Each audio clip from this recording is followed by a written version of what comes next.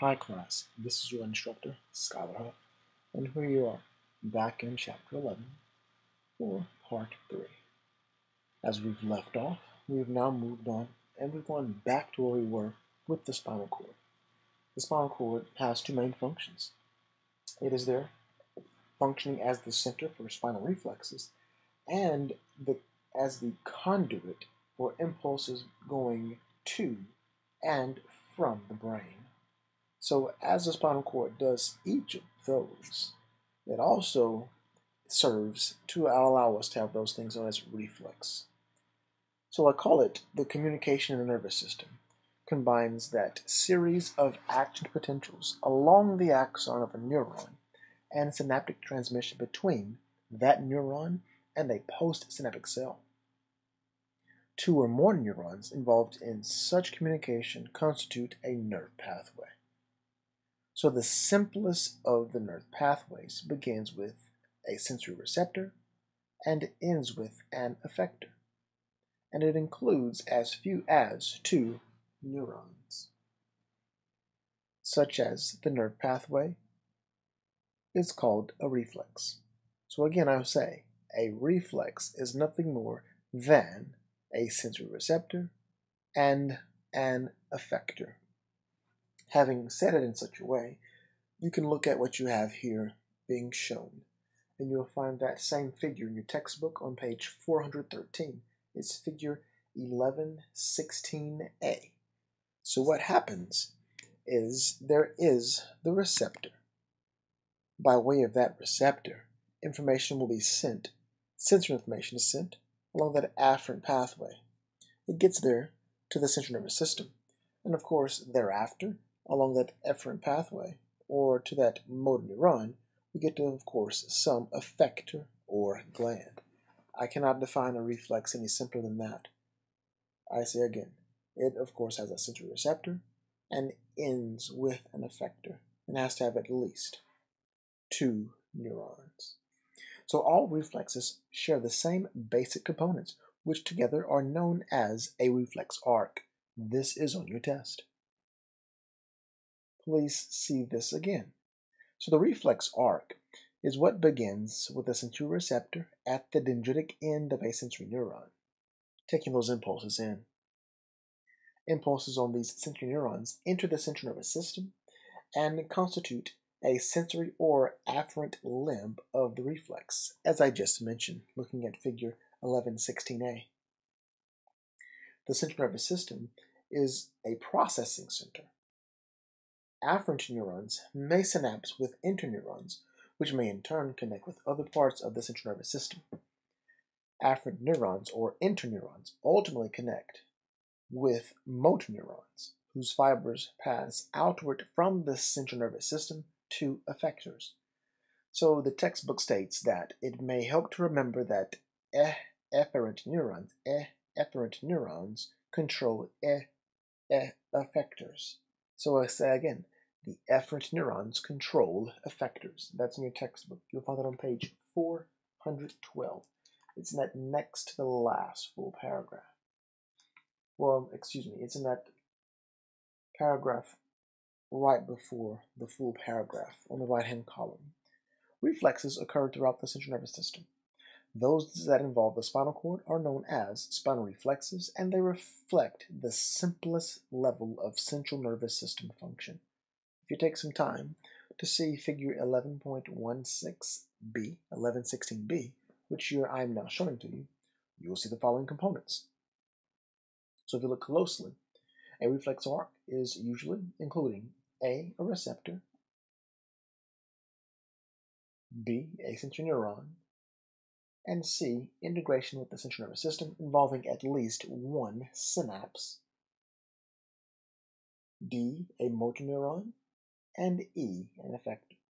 So in the example you're seeing here, from and I, I'm sorry for using letters, I should have said one, a receptor, two, a sensory neuron, three, what you have there in the center, known as integration within the central nervous system involving at least one synapse, four, a motor neuron, and five, some effector.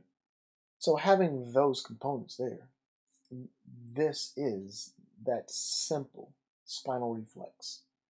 So on your test, you can look for a figure that looks just like this, showing you all those five basic components that make up the reflex arc. And I guess I'll go back to where I was there. So having done it in such a way, let's get down to what is called reflex behavior. And as I've said that, I had a thought. This figure being shown here let me find this figure for you just briefly. Excuse me. I'd like to say I don't see this figure.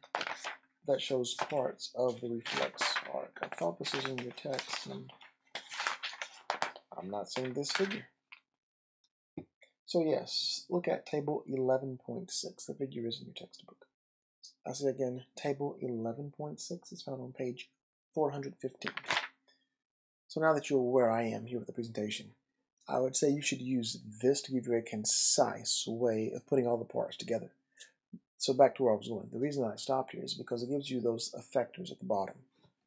This is important to know because you may someday be asked, all right, what is the effector? Well, effectors are always going to be something such as a muscle or a gland. So they respond to that stimulation. It all began with some receptor. And of course, by way of that motor neuron, it produces some reflex or behavioral action. Important to know, I say. Now on to reflex behavior as I just left off, excuse me. So reflexes are automatic responses to changes, or at least to stimuli, and this happens inside or outside the body. They maintain homeostasis by controlling many involuntary processes such as heart rate, breathing rate, blood pressure, and digestion. I'll say again, a reflex, as I defined earlier, as having a sensory receptor and ending with an effector, including at least or at least as few as two neurons. A reflex is an automatic response to stimuli, being inside or outside the body. So reflexes also carry out automatic actions involved in swallowing, vomiting, coughing, and sneezing. The first reflex example is going to be that patellar reflex or knee jerk reflex. So this is an example of a monosynaptic reflex. And it's called a monosynaptic reflex because it only involves two neurons. There again, that most simplest reflex type.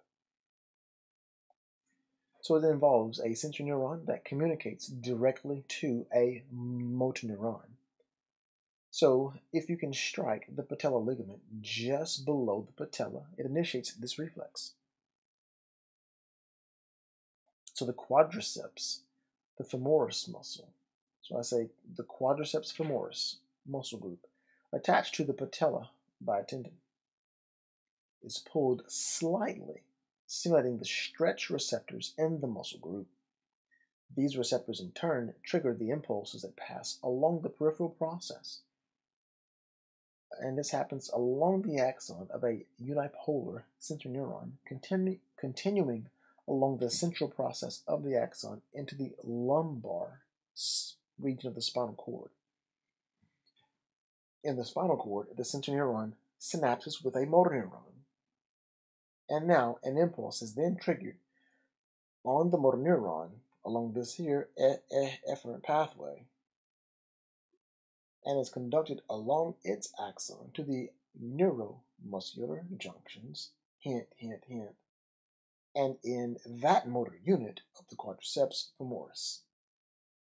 So the muscle fibers involved respond by contracting, and the reflex is completed as the leg extends, as shown here in figure 1117. So I know you say, Huff, you took a long time to get there. Well, Yes, I did. And even though this is a quite simple process, I say physiologically, it's important that I take that time to show you this. And another thing that happens is the patellar reflex helps maintain upright posture. So, if a person is standing still and the knee begins to bend in response to gravity, the quadriceps femoris is stretched. So the, reflex, the reflex is triggered and the leg straightens again. Adjustments within the stretch receptors keep the reflex responsive at different muscle lengths. And this very same thing happens when you stand up from a seated position. It ensures, of course, that the knee doesn't buckle. Another reflex type we're now at is the withdrawal reflex. So this happens, class, when a person touches something painful and potentially damaging, such as stepping on a tack or a shard of glass. So it's activated skin receptors send impulses to the spinal cord along the axons of sensory neurons. There, the sensory neurons synapse with interneurons, which in turn synapse with motor neurons. In this case, the motor neurons. In this case, motor neurons activate fibers in the flexor muscles of the thigh, which contract in response, pulling the foot away from the painful stimulus. Please note, the skeletal muscles typically are innervated by motor neurons at more than one level of the spinal cord, although one or two levels of the spinal cord may predominate. This is called segmental innervation. The example here the biceps brachii are innervated by the musculocutaneous nerve with the axons originating from C5, C6, and C7. As I've stated this, similarly, the gastrocnemius is innervated by the tibial nerve with axons originating from S1 and S2. So segmental innervation of the quadriceps and hamstring groups in in this example of the withdrawal reflex. It's quite amazing how this works, happening so fast without you even thinking about it. So please be safe out there. So at the same time, some of the incoming sensory impulses, they stimulate the interneurons that inhibit the action of the antagonistic extensor muscles. This is reciprocal innervation. So this inhibition of the, of the antagonists allow the flexor muscles to effectively, effectively, excuse me, withdraw the affected part of the body. How amazing this is. So it says here that this example is most definitely polysynaptic, mm, containing the sensory neuron, containing the sensory neuron, which is shown here, to feel, to sense the pain while stepping on that tack. It includes, of course, what is within, known as the interneuron, shown there in red. And then, finally, what's shown here is that motor neuron, getting to here what is called the effector. This is the withdrawal reflex. Up next is the crossed extensor reflex. So while the flexor muscles on the affected side, which is known as being ipsilateral side, contract, the flexor muscles of the limb on the other side, being contralateral, are inhibited. Furthermore, the extensor muscles on the contralateral side contract, helping to support the body weight shifted to that side. So this is that crossed extensor reflex and is due to the interneuron pathways in the spinal cord that allow sensory impulses arriving on one side of the spinal cord to pass to the other side and produce an opposite effect. Please see figure 1119. Reflexes like these can be found at different levels of the spinal cord and in the brain, depending upon which body parts are involved. So concurrent with the withdrawal reflex, other interneurons in the spinal cord carry sensory impulses upward toward the brain. The person becomes aware of the experience and may feel pain. So the withdrawal reflex protects because it prevents or limits tissue damage when a body part touches something potentially harmful. So with the crossed extensor reflex, I'll put it this way. Let's say, for instance, that a person is walking, and then, of course, they step on that very same thumbtack, or they step on that shard of glass, wearing those shoes. So immediately, if you were to step on anything that were to cause that pain, the first thing you're going to do is pick that foot up, and then, of course, step on the opposite foot. That is that crossed extensor reflex. Because it won't be the case that you simply just step on it and say, ouch, this hurts. You're going to step on that, and then as soon as you step on it, you're going to switch over to the other foot, And then, of course, that is it, being the crossed extensor reflex. So from here, just make sure you all do see table 11.6, as I mentioned earlier, to summarize the reflex arc. So I'll now get to uses of reflexes with clinical application 11.5, found on page 414. Excuse me. So normal reflexes require and reflect normal neuron functions. Therefore, reflexes are commonly used to assess the condition of the nervous system. For instance, an anesthesiologist initiates a reflex in a patient being anesthetized to determine how the anesthetic drug is affecting nerve functions.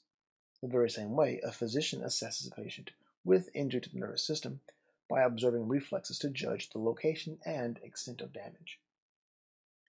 So injury to any component of a reflex arc alters its function. For example, stroking the sole of a foot normally initiates the plantar reflex, which flexes the foot and toes. Damage to certain nerve pathways, such as that corticospinal tract, may trigger an abnormal response called the Babinski reflex, which is dorsiflexion that extends the great toe upward and fans apart the smaller toes. If in fact the injury is minor, the response may consist of plantar flexion with the failure of the great toe to flex, or plantar flexion followed by dorsiflexion. The Babinski reflex, make a note class, make a note class, is normally present in infants up to age of 12 months and may reflect immaturity in their corticospinal tracts.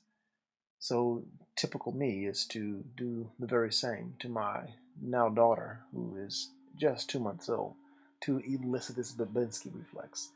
And if need be, just let me know, class, and I don't mind recording a video to show you this Babinski reflex. It's amazing to see, I say, at least to myself.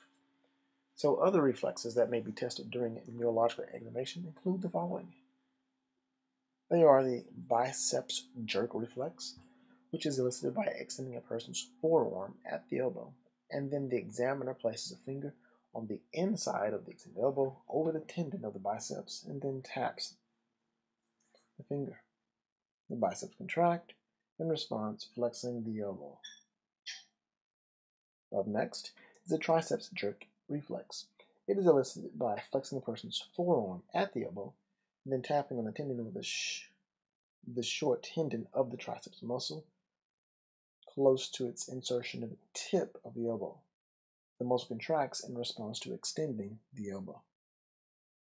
Next up are abdominal reflexes, and they are responsible to, to sh stroking the skin of the abdomen. For example, a dull pin drawn from the sides of the abdomen upward toward the midline above the umbilicus contracts the abdominal muscles underlying the skin, and the umbilical moves toward the sternal region. The ankle jerk reflex is elicited by tapping the calcaneal tendon, the calcaneal, excuse me, tendon, just above its insertion on the calcaneus. Contraction of the gastrocnemius and soleus muscles cause plantar flexion. And lastly is the cremasteric reflex. It is elicited in males by stroking the upper inside thigh, and in response, the contracting muscles elevate the testis on the same side. And no, we will not be doing that reflex in lab. So from here, I'll move on over. And the next part we'll get to will be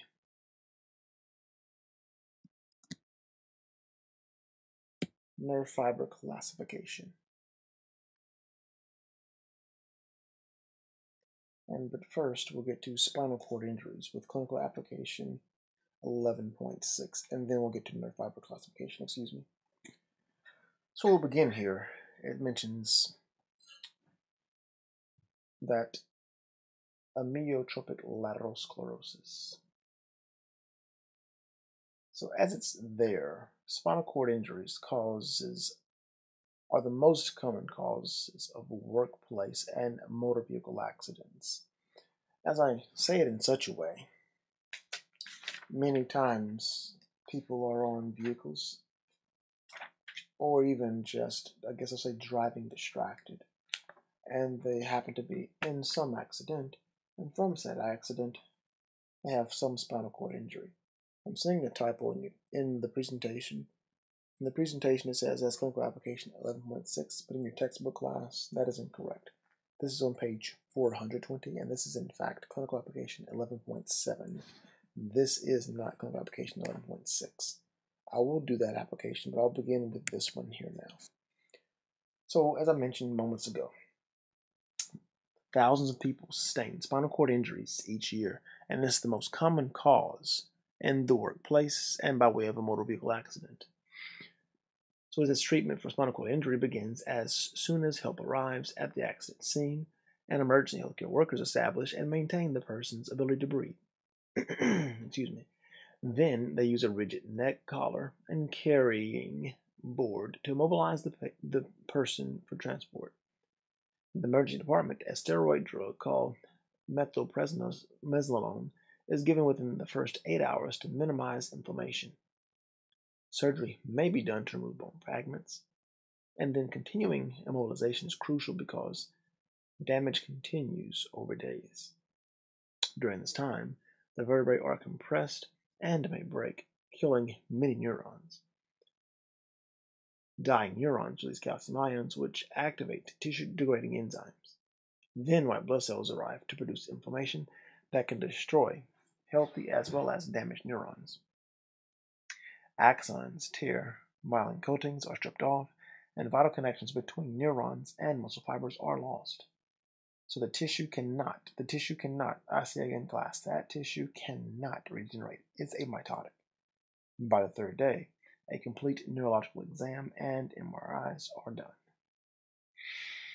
I'll say it this way the extent and severity of spinal cord injury depends on, of course, the location of damage, and of course, the extent of the damage. Normal spinal reflexes require two-way communication between the spinal cord and the brain. A complete transection, meaning damage through a cross-section of the cord, injures nerve pathways, depressing the cord's reflex activities in the sites below the injury, and at the same time, those sensations and muscle tone diminish in the parts that are affected. Fibers innervate. So the condition is called spinal shock and it may last for days or weeks, although normal reflex activity may return. If axons are severed, some of the cord's functions may be permanently lost.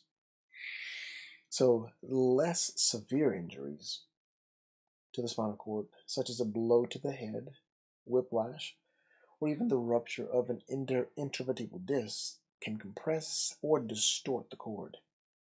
If you look closely at figure 11G, you're seeing just that, meaning the dislocation of the atlas may cause a compression injury to the spinal cord. So it may be that the person experiences pain, weakness, and muscular atrophy may develop in those regions the damaged nerves supply. So a spinal cord injury increases the risk of secondary problems, and these include difficulty breathing if the injury is above the fifth cervical vertebra, development of pneumonia, formation of blood clots, low blood pressure, irregular heartbeat, pressure ulcers, spasticity, and impaired bowel, bladder, and sexual function. I'll put it this way. For those who drive, which I think most of you all do, I'm pretty confident all of you all do please drive and remain undistracted as you drive. In other words, please put those phones away as you drive.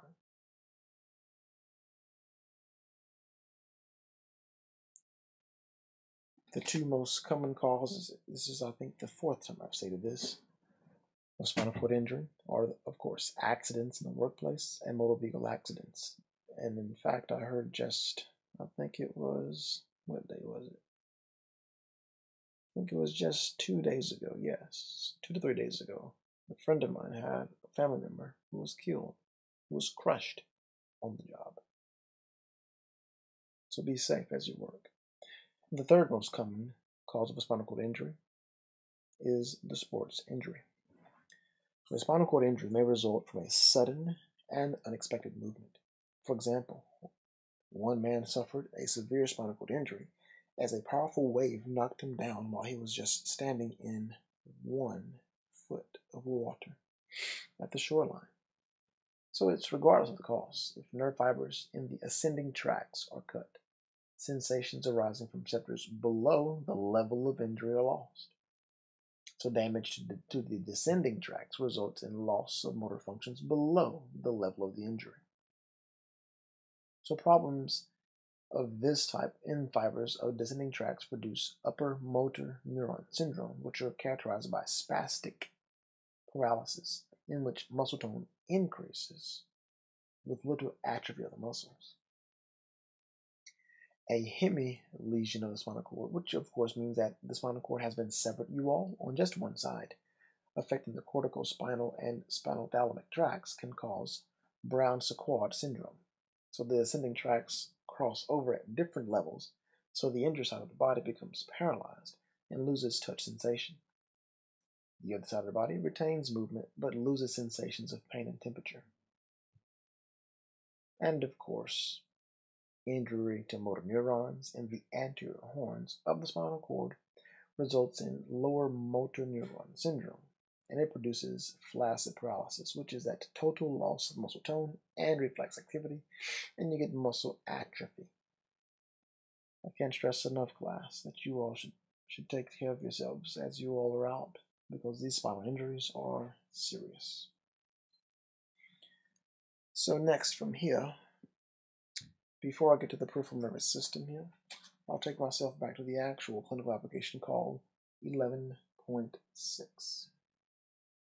So with this clinical application, it is about the amyotrophic lateral sclerosis. In amyotrophic lateral sclerosis, also known as Lou Gehrig's disease or motor neuron disease or even ALS, which you all may have had a challenge with a bucket of ice, the motor neurons in the spinal cord, brain stem, and cerebral cortex degenerate. In this disease, it may be due to an inability of the motor neurons or associated astrocytes to counter the buildup of oxygen-free radicals or overactive microglia that kill motor neurons. The first symptoms of ALS may be vague and affect only a small part of the body, being that a person is dragging their foot, becomes clumsy, has problems with fine motor coordination such as turning a key or pulling a zipper, or even experiences fatigue and difficulty speaking. So muscle twitchiness, cause those fasciculations, may prompt the person to seek medical attention. The diagnosis may take more than a year as neuro neurologists observe spreading weakness and rules out other conditions such as multiple sclerosis, which you should know for your test, having those multiple sclerosis or even a spinal cord tumor. The average age at diagnosis is 55, but adolescents, as well as very, very elderly, have developed amyotrophic lateral sclerosis.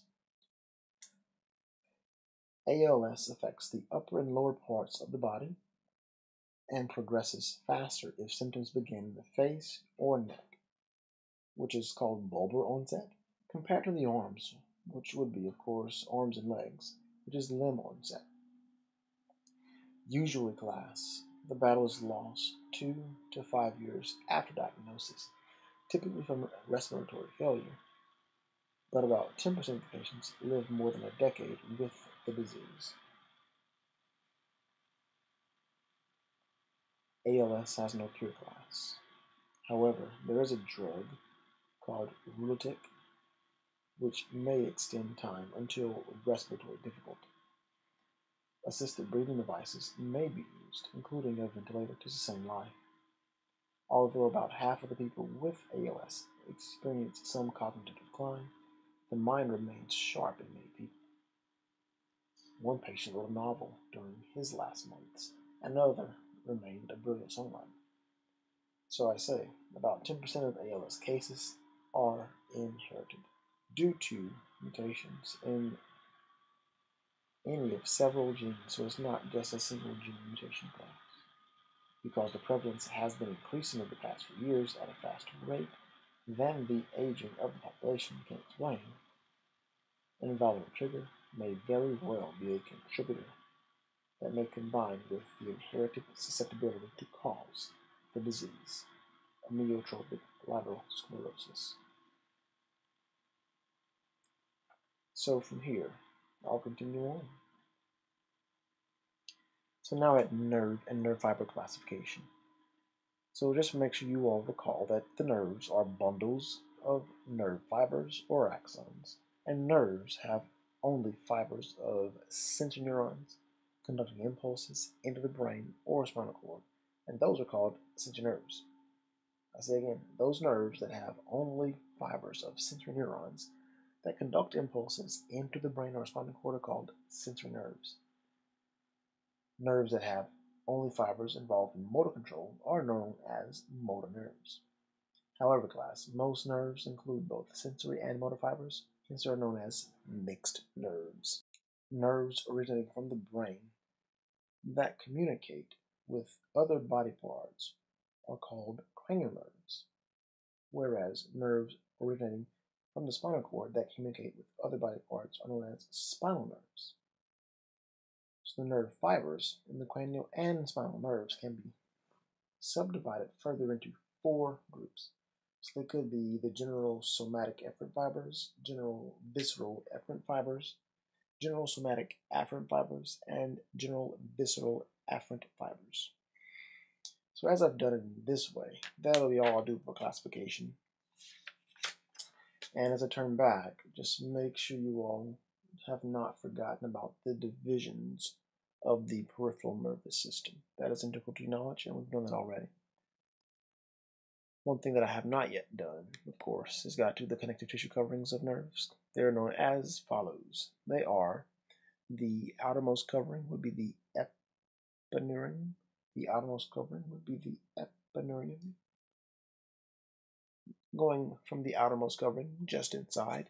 That would be, of course, what is known as the perineurium.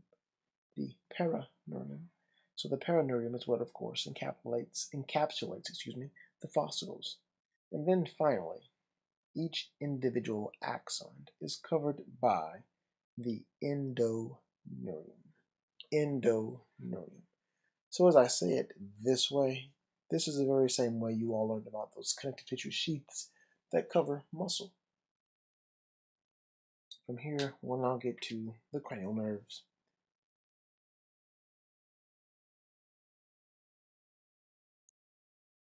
The cranial nerves. There are 12 pairs of cranial nerves, and they are located on the underside of the brain. Most of the cranial nerves are mixed nerves, but some of those are associated with the special senses, such as smell and vision, and they have only sensory fibers. Other cranial nerves that innervate muscles and glands are primarily composed of motor fibers. So the first pair, which is sensory, has fibers that begin in the nasal cavity and synapse with the frontal lobe of the cerebrum. The second pair, they also are sensory and they originate in the eyes. Their fibers synapse in the thalamus. The remaining cranial nerves attach to the brain stem, and the direction of their fibers depends on whether they are sensory, motor, or mixed. And I say all the cranial nerves pass from their sites of attachment through the foramina of the skull and lead to areas of the head, neck, and trunk. So the cranial nerves that are described here are primarily motor do have limited sensory functions because they contain neurons associated with certain receptors known as proprioceptors. Please review those that respond to changes in the length and force of contraction of skeletal muscles. However, because these proprioceptive fibers contribute directly to motor control, the cranial nerves, whose only sensory component is from such proprioceptors, are considered motor nerves. So this refers to cranial nerves 3, 4, 6, 11, and 12. So let us begin. The first pair of cranial nerves is the olfactory. They are associated with the sense of smell. The first pair associated with the sense of smell. They're bipolar neurons. They, they pass through the cribriform plate of the ethmoid bone and enter into the olfactory bulbs. So here, by way of the olfactory tracts in the hemispheres, they produce the sensation of smell. Next to optic nerve, which is cranial nerve number two. So the optic nerves, they are sensory and they lead from the eyes to the brain. They are associated with vision, you all. So the neurons neuron cell bodies, they form ganglion layers of retina and pass through the optic foramina of the orbits. So with this, we'll do we did more of this with visual pathways in the brain in chapter 12. Up next will be the oculomotor nerve, cranial nerve number 3. The oculomotor nerve, it arises from the midbrain and then it passes into the orbits of the eyes. So with this, one component of each nerve connects to the voluntary muscles, including those that raise the eyelids and four of the six muscles that move the eye. And that's four of those six extrinsic eye muscles. The second portion of each oculomotor nerve, oculomotor nerve, is part of the autonomic nervous system, supplying the involuntary muscles inside the eyes. So these muscles help adjust the amount of light that enters the eyes and help and help focus the lenses. This nerve is considered motor with some proprioceptive fibers. I find this interesting here because I thought for a moment that my eyes had gotten really, really bad. So the other day, I went to the optometrist to have my eyes checked, to have an eye exam, of course. And the optometrist, I don't necessarily say that he laughed at me, but as I as I was walking out the hallway to leave, he said, he said, I wish I had your eyes, because my eyes have no, no issues at all. However, I thought there were serious issues. Thanks a lot, tickers at the, at the bottom of the screen. So next up is cranial nerve number four, and they are known as the trochlear nerve or trochlear nerves. This is that smallest pair of cranial nerves. They arise from the midbrain and conduct motor impulses to a fifth pair of external eye muscles. And I'll leave it at that. Up next class will be cranial nerve number five, meaning the trigeminal nerve. So the, the trigeminal nerve is the trigeminal nerves, excuse me. They are the largest and they arise from the pons. So they are mixed nerves with more extensive sensory portions. So each sensory component includes three large branches called the ophthalmic, maxillary, and mandibular division. So with that, please see figure 1126 in your text. So it shows that each trigeminal nerve has three large branches that supply various regions of the head and face. So I just mentioned the ophthalmic division, the maxillary division, which is sensory as well, and then the mandibular division, which is both sensory and motor. And these are those muscles used for mastication. And you'll hear about mastication pretty soon here when you get to human anatomy and physiology too, when you get to the digestive system. Mastication, the chewing of food. Remember it, class, you need it. From here, I'll move on to the abducens nerve, the sixth pair of cranial nerves. So they are small and they originate from the pons near the medulla oblongata they enter the orbits of the eye and supply motor impulses to the remaining pair of external eye muscles. So this nerve is motor with some proprioceptive fibers. Here, we have the cranial nerve number seven. So this pair are known as the facial nerves. So the facial nerves are mixed nerves, and they arise from the lower part of the pons and emerge on the sides of the face. Their sensory branches are associated with taste receptors, on the anterior two-thirds of the tongue, and some of their motor fibers conduct impulses to the muscles of facial expression. To help you with that, please see figure 1127. So with this, some some of the fibers have functions in the autonomic nervous system by stimulating secretions from the tear glands and certain salivary glands. and that comes from your submandibular and sublingual glands, you all. Up next would be cranial nerve number eight, the vestibulocochlear nerve. So this is, of course, here for the acoustic or auditory nerves, and they are essential nerves that arise from the medulla oblongata, and each of these has two distinct pairs. They have a vestibular branch and a cochlear branch. So the vestibular branch are here, and these contain receptors that sense changing in changes in the position of the head, and in response and initiate and send impulses to the cerebellum. With that, they are also used in reflexes that maintain equilibrium. The cochlear branch. Here, their impulses are here for hearing receptors, so they pass through the medulla oblongata and to the midbrain, and on their way to the temporal lobe where they are interpreted. Up next is that ninth pair, which is, of course, the glossopharyngeal nerves. So it is a mixed nerve, and they are associated with the tongue and pharynx. So these nerves, they arise from the medulla oblongata. They are mixed nerves too. And they conduct impulses from the lining of the pharynx, tonsils, and posterior of the tongue to the brain. So with this, the, those fibers have a motor component that innervate certain salivary glands and Uh, a constrictor muscle in the wall of the pharynx that functions in swallowing. You must be able to swallow.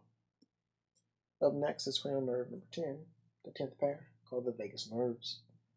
We've done a lot with these. I won't continue at more with these. I'll say please review that second of now being three lectures in chapter 11 for more on the vagus nerves. I guess the last thing I'll mention, of course, about them is that they originate in the medulla oblongata, descending downward into the neck, into the chest, and abdomen. They are mixed nerves being both somatic and autonomic branches, with the autonomic fibers being predominant.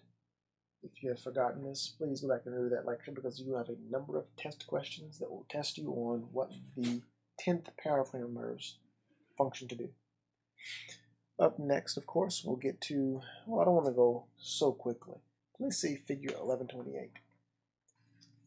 With figure 1128, I spent a, a number of minutes here in prior lectures, or at least one prior lecture for sure. And just make sure you see this. Particularly, of course, I'm looking here at the vagus nerves. So the vagus nerves, and, and it says only the left vagus nerve is shown, not both pairs. It's showing you the viscera. And as I say the viscera, this is what it does. I mentioned us having these differing divisions of the nervous system. For those who study and study well, I mentioned once that there are two divisions of the nervous system, being the autonomic nervous system, being that parasympathetic nervous system, and the sympathetic nervous system. I mentioned that rest and digest system. We're looking at, of course, here and now, and even why. So please, I hope that you all have taken amazing notes leading up to now. Because I mentioned this here at the heart by way of that cardiac plexus that slows heart rate. Not to mention, of course, the pulmonary plexus. But I'll stop there. Please review those things. So now, of course, we get to the 11th pair of cranial nerves called the accessory nerve. Those accessory nerves originate in the medulla oblongata and spinal cord. Therefore, these nerves have both cranial and spinal branches. So each cranial nerve joins a vagus nerve and conducts impulses to the muscles of the soft palate, the pharynx, and larynx. The spinal branch descends into the neck and supplies motor fibers to the trapezius, the sternocleidomastoid muscle, to the trapezius muscle and the sternocleidomastoid muscle. This muscle is motor with some proprioceptive fibers. And the last is the twelfth, of course, pair of cranial nerves, and it's called the hypoglossal nerve. It is primarily a motor nerve. And with this, it arises from the medulla oblongata and it passes into the tongue. So with this, it, the impulses are conducted to the muscles that move the tongue in speaking as I speak now, chewing and swallowing. If you need more on this, you may see table 11.9. You'll find it on page 425. It gives you all all of these nerves in one spot. Of course, it's not a lot of information that's there, but it does give you all of what I've just done. Up next are the spinal nerves. So there are 31 pairs of spinal nerves, and I'll be honest and I'll say I will not go through all of these, but what I will do is I'll go down to where it states what they do. So those 31 pairs of spinal nerves, which originate from the spinal cord, the first pair is purely motor, and the remaining pairs are mixed nerves that provide two-way communication. That provide two-way communication between the spinal cord and parts of the upper and lower limbs, neck, and trunk. So each spinal nerve, except for the first pair, emerges from the spinal cord by two short branches or roots, which lie in the vertebral column. So the roots arising from the superior part of the spinal cord pass outward almost horizontally, whereas those from the inferior portion of the spinal cord descend at sharp angles. So this anatomical feature is a consequence of growth. In early life, the spinal cord extends the entire length of the vertebral column. But with age, the column grows more rapidly than the cord, thus the adult spinal cord ends at the level between the first and second lumbar vertebrae. So the roots associated with the lumbar, sacral, and coccygeal nerves descend to their exits beyond the end of the cord, still within the vertebral canal. So these descending roots form a structure called the cauda equina. So I'll go on down now to each spinal cord below C1. And I'm saying this because what you have are those 31 pairs of spinal nerves. And on one way to help you all remember these, of course, would be there are eight cervical nerves, C1 and C8. 12 thoracic nerves, so of course T1 to T12, 5 lumbar nerves, L1 to L5, 5 sacral nerves, S1 S5, and of course 1 coccygeal nerve. So a person once said that you can remember this by knowing what time at which you eat. You have breakfast at 8 a.m., lunch at 12, and of course dinner at 5, and that's, that's twice at 5. So you have 8 cervical, 12 thoracic, 5 lumbar, and sacral, with 1 coccygeal nerve. 812551. So each spinal nerve below C1 contains sensory fibers that reach the skin, and the region innervated is called a dermatome. Please see 1130. That is figure 1130. This is on your test. So the dermatomes are highly organized, but vary considerably in size and shape. So it's a map of dermatomes, figure 1130 is, and it's useful in localizing the site of injury to dorsal roots and to the spinal cord. I mention this because as you look at the figure showing those dermatomes, shown to you all now, this is what is used when someone may come in and ask, Hi, how are you doing today, sir or ma'am? And of course you reply, but as you do reply, they're touching you, meaning they may be touching your, your belly that may be touching your toes, or even, of course, your shoulder, or, or as a specific part of your hand.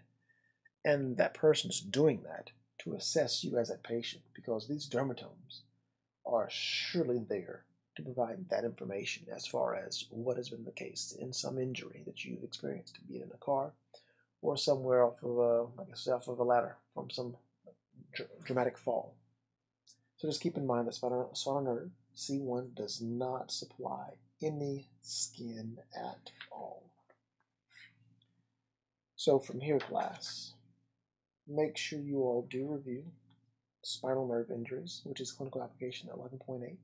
I say again, please, class, make sure you all review spinal nerve injuries, which you all can find on page 431. It will help you to review that the very same way. I'll say make sure you go through, where was it? I think that was at the very end of which. So I've now gotten to the end of the chapter, right before lifespan changes, and this is on page 438. 438. So as I've gotten here, and of course this gets you all to spinal cord injuries, especially, of course, whiplash, how they are caused, and of course, carpal tunnel syndrome, which some of you all may have right now. I don't know. But as I mentioned this, I'll say that control of the autonomic nervous system rests mainly there in the hypothalamus. So just keep in mind that it's hypothalamic activity that's important in those reflex centers and involving the medulla oblongata and the spinal cord. That's all I want to say there. So to end this thing, go to lifespan changes. As we're here, the redundancies of overlap of the functions in our nervous systems ensure that we can perceive and interact with the environment for many decades and I did say for many decades. In a sense, aging of, of course, this organ system begins before birth. Yes, I did say that. Before you're born, aging has already begun to occur. It's because, of course, as apoptosis occurs, which is programmed cell death, this is, of course, it's carving out those structures that will remain in the brain. So this normal dying off of neurons continues throughout life, and when the when the brain apoptosis fails, disease results. The example of such would be with the brains of individuals who die of schizophrenia as young adults. They contain the same number of neurons as do neuro- newborns. You're saying, wait a minute, you're saying what now? Yes, a person, of course, who, of course, dies of schizophrenia as an adult contains the same number of neurons as a newborn child. Those extra neurons may produce extra dopamine, which can lead to those hallucinations, which of course are the hallmark of schizophrenia. Myelin begins to form on axons during the 14th week of prenatal development. How early is it? At the time of birth, many axons are not completely myelinated. So all myelinated axons have begun to develop sheaths by the time it starts to walk. Yes, that's at around a year old. Around a year old, maybe a little earlier, maybe a little later. So having stated in such a way, I'll just put it this way. The process of myelination continues into adolescence. That's why it's so important, of course, to take care of yourselves and I did say adolescence. By age 30, the die off of neurons accelerates somewhat. Yes, I'm saying that and I'm just over 30. So, although pockets of neural stem cells lining the ventricles retain the capacity to give rise to cells that differentiate as neurons and neuroglia,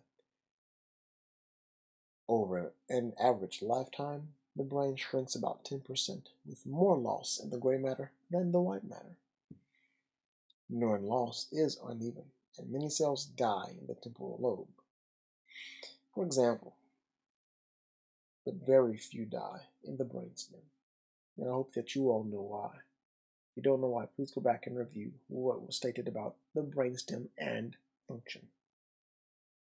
So by age 90, the frontal cortex has lost about half of its neurons, although this deficit does not necessarily hamper its function. So you most definitely can teach an old dog new tricks, so to speak. I'm not referring to dogs, I'm referring to us as people. So the nervous system changes over time in several ways, and the number of dendritic branches in the cerebral cortex falls. And signs of slowing neurotransmission include decreasing levels of neurotransmitters, the enzymes necessary to synthesize them, and the numbers of postsynaptic receptors. So the rate of act potential propagation may decrease 5 or even 10 percent. So it's that nervous system disorders that may begin to cause symptoms in older adulthood, which include stroke, depression, Alzheimer's disease, Parkinson's disease, and multi-infarct dementia. So notable signs of aging include a fading memory, slowed responses, and even reflexes. It also includes that decline in function of the sympathetic nervous system, which may cause the transient drops in blood pressure, which in turn may cause fainting. So by the seventh decade, the waning ability of nerves in the ankles to respond to vibrations from walking may affect balance, raising the risk of falling. Poor eyesight, anemia, inner ear malfunction, and the effects of drugs contribute to poor balance in later years. So because of these factors, nearly one-third of individuals over age 65 have at least one serious fall per year. And of course, as you get go over 65, you may have more than one serious fall, but at least one serious fall per year. There also be changes in sleep patterns that accompany aging that reflects, of course, the functioning of the reticular activating system. So it is, of course, that older individuals generally sleep fewer hours per night than they once did. So they experience that transient difficulty in getting to sleep and staying asleep, with more frequent movements when they are sleeping. And many have bouts with insomnia, which sometimes not sleeping more than an hour two at night. So I just hope that you keep these in mind because all of these changes may result in daytime sleepiness and nodding. So with this, the next lecture will be, of course, that of review. And if you need anything further, please let me know. This has been your instructor, Schuyler Huff. Prepare well, class.